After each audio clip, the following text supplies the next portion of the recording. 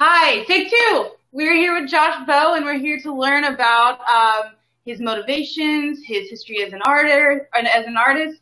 Uh, because of your phenomenal work, your work is fantastic. So I'll open the floor.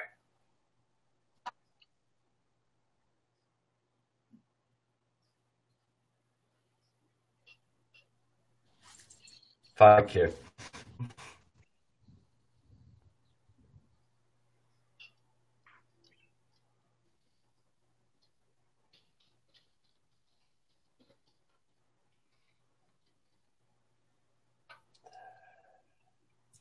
Okay, so a bit about my career. Um, that's an interesting way of terming it as a career, but um, I went full time as an artist, I suppose, about three years ago. But technically speaking, I've been doing this since I can before I can talk. I think most people are, like that.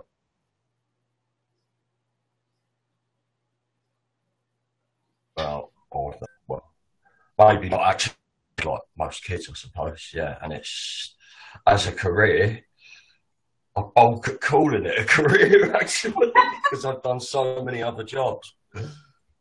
But um,